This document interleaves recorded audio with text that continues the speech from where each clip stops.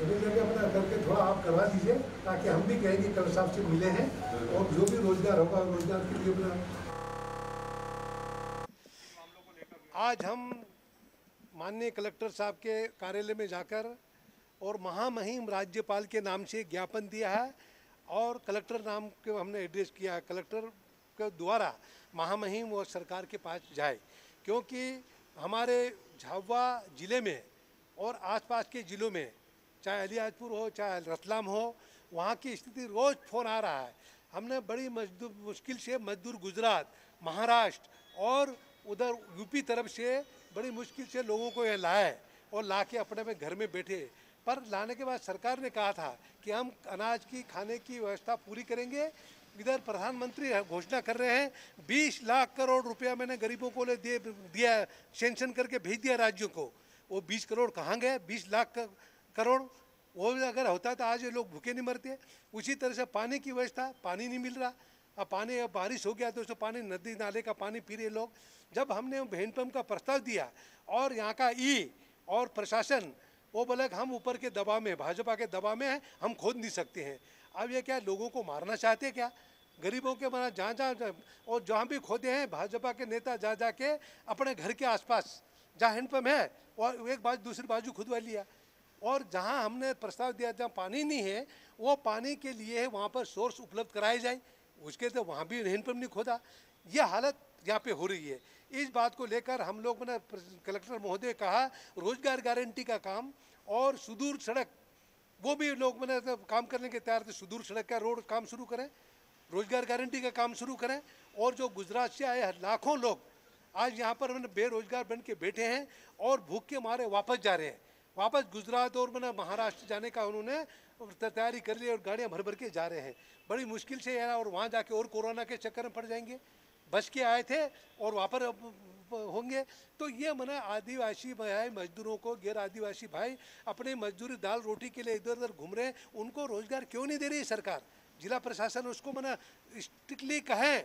ये हमारे मन से मांग है। उसी तरह से सोसाइटी में आज बारिश हो गई। खाद नहीं, बीज नहीं। और लोग खेत खाली पड़ा है। लोगों खाने का नहीं है तो ज़मीन में कैसे बीज बोएँगे? वो बिना बीज हर सोसाइटी में उपलब्ध कराएँ, ये मेरी कलेक्टर से मांग हमने की है और राज्यपाल को भी हमने लिखा है कि आपकी सरकार को कान पकड़ो, नींद उड़ाओ। तब तो जाके उसका काम होगा, नहीं तो मैंने लोग मैंने कई खेत खाली रह जाएँगे।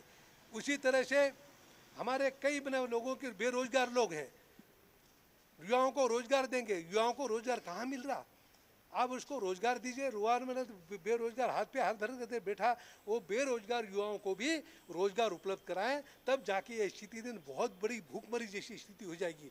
कोरोना अलग हमला कर रहा है, भूख अलग हमला कर रही है तो कहाँ कैसे बच पाएँगे गरीब लोग? ये मेरी मांग है कि कलेक्टर साहब तत्काल उसकी व्यवस्था करें और महामहिम राज्यपाल को एक कापी और भेज रहे हम।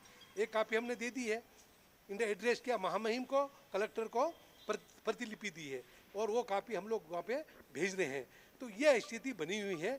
तो मेरी पुनः कलेक्टर महोदय से और महामहिम राज्यपाल और प्रदेश के माननीय मुख्यमंत्री से अनुरोध है कि झाबुआ, रतलाम, अलीराजपुर और जो आदिवासी क्षेत्र हैं, उसमें मजदूर भूखे मर रहे हैं और उनको रोजी रोटी के लिए वापस उनको जाना पड़ रहा है गुजरात, महाराष्ट्र में। उनको रोके और उनको रोज़गार दे। ये हमारी मांग है। सर शिवराज जी ने कहा है कि केंद्रीय नेतृत्व कारण सरकार गिरी है कांग्रेस की।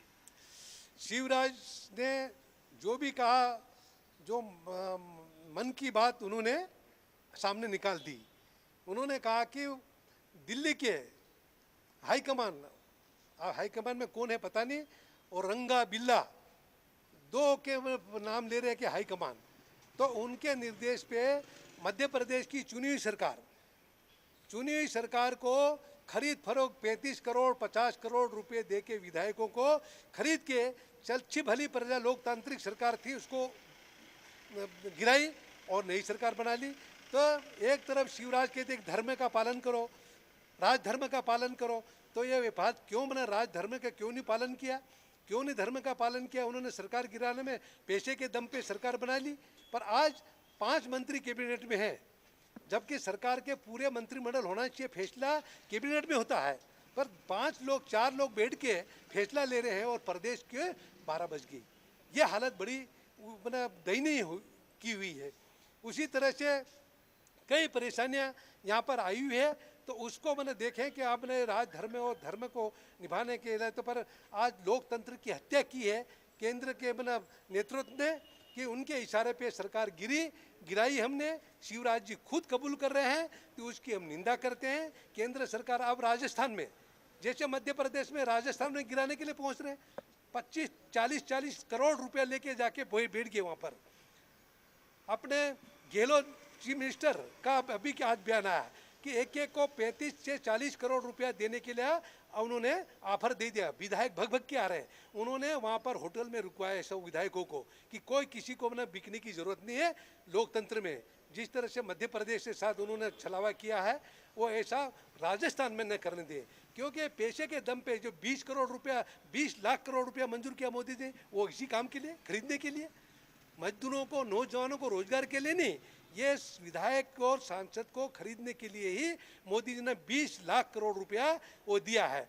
और उसी तरह से ये सब सारा गतिविधियाँ लोकतंत्र खत्म हो जाएगा और हिटलर शाही पूरे देश में करने का काम ऊपर वाले नेतृत्व कर रहा है। ये बड़ी दुख का बात है। अधिकारियों का भी ट्रांसफ़र। आ वो चुन चुन के कह रहे जो मैंने भाजपा के विचारधारा के जो लोग हैं आरएसएस विचारधारा के लोग उनको पोस्ट कर रहे हैं और जो लोग ईमानदारी से काम कर रहे हैं, उन लोगों को, उन लोगों को वहाँ पर हटा के और जवाबदारी दूसरों को दे रहे हैं। तो यह इस तरह से वहाँ भी पर मैंने एक राजनीतिकरण पूरी सरकार में कर दिया। तो वो भी बड़ा दुख का विषय है। भविष्य में किस तरह से लोकतंत्र बचेगा, किस तरह से प्रशासन चलेगा, उसका कोई अंदाज़ा नहीं लगा सकते। Thank you.